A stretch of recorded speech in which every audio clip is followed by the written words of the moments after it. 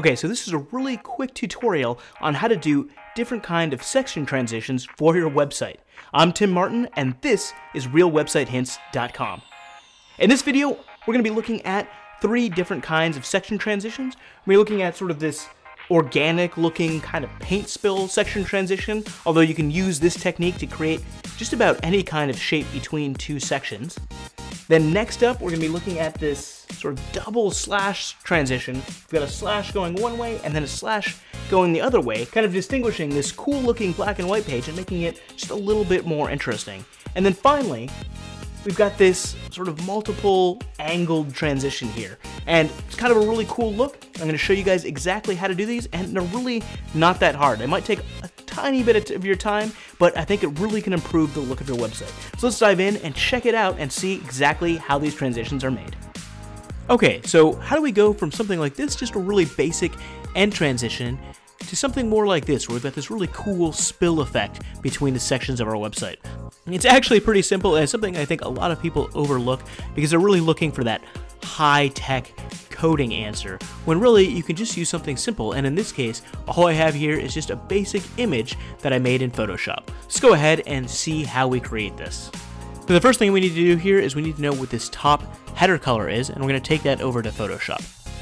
So then inside of Photoshop, you need to just create any sort of image. This is the image I created here. It's kind of a paint spill image, but you can create any kind of image. And then we just need to export this image. Now what I found worked the best was to export this image as a GIF. I made this image 1900 pixels wide and then I set it to bilinear. For some reason, bilinear just seemed to work the best and gave it the best look.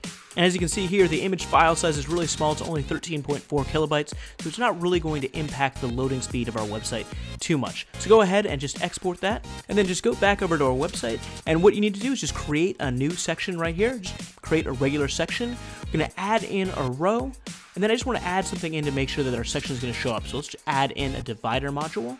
Go ahead and click on that, save that divider module, and then let's go over to the section settings. This is where we're to add in our background. So click on the section settings, go to background, then click on the image icon, add in your image, go ahead and select it, add it in, and the next thing we need to do is we need to add in some spacing to make sure that our whole image shows up.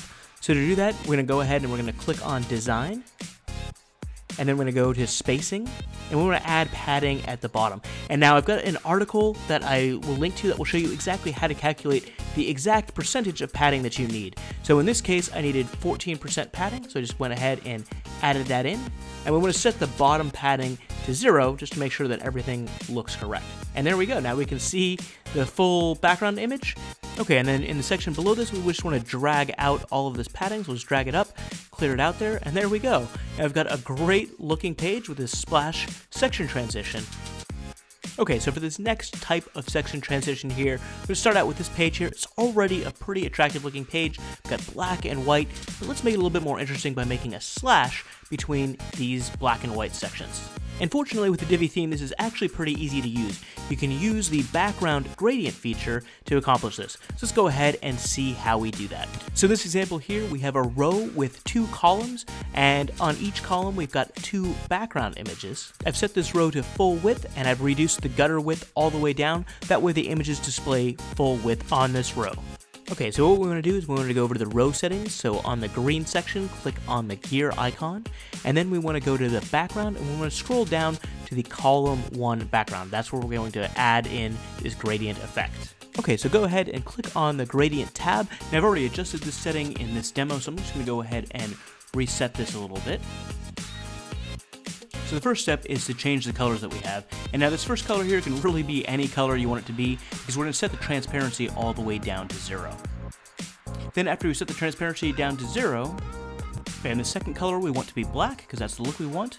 Then we want to scroll down here the bottom and under column 1 gradient we want to click on this column 1 place gradient above background image and that's going to let us see what we're doing. And then as soon as we click that button, we can see the gradient forming. So the first thing I like to do is sort of move the gradient direction and get it kind of close to where I want it to be. Go ahead and move that right here. And then to get that sharp line, we need to go to the column 1 start position and slide that over, and then slide back column 1 end position until they just overlap a little bit, and that's going to give us the line, and then just adjust the positioning of them until you get the line where you want it to be. So about here, that looks good. Okay, that looks good. So now we'll just click on the check to exit out of this, and then we're gonna do the exact same thing on this bottom section here, this bottom row here. Let's go ahead and do that. Click on the gear icon. We're gonna go over to the column one background. We're gonna click on the gradient tab right here. Okay, and then it's already added in the gradient because I've already done this uh, when I was testing this, but you can see here sort of the same kind of settings, just need to set it up here. And then for this to work, we need to make sure that the column here, that the background is white, and that the text module has a transparent background so we can see the white coming through. So to do that, you click on content, and then you scroll down to background and just make sure that that's blank. That's how we can create this cool looking slash transition between sections on the Divi theme, either between sections or between columns. Okay, so now let's check out the last kind of section transition that I want to talk about in this video, and that is sort of this multi-angled section transition. And one thing to know about this is a little bit more complicated, and also it might not work on some browsers. Um, in particular, it might not work on Internet Explorer. Let's go ahead and dive in and check out how to do this next transition. Okay, so here we are back at just the regular section transition here. And in order to make this angled transition, we're gonna need some code. And I found an awesome tool online called Clippy that's gonna allow us to do that. So let's go over here, let's go over to Clippy, and I'll link to that down below.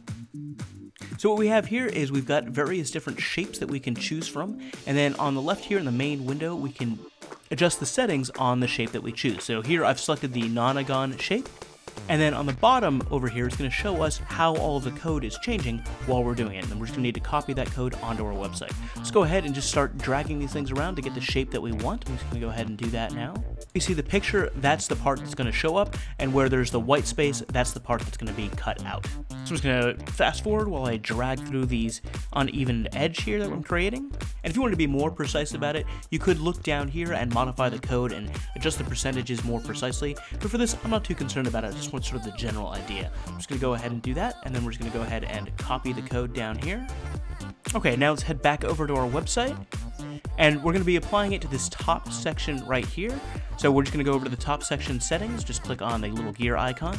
We're going to go over to advanced, and then click on custom CSS, and we're just to paste it uh, right here into the main element.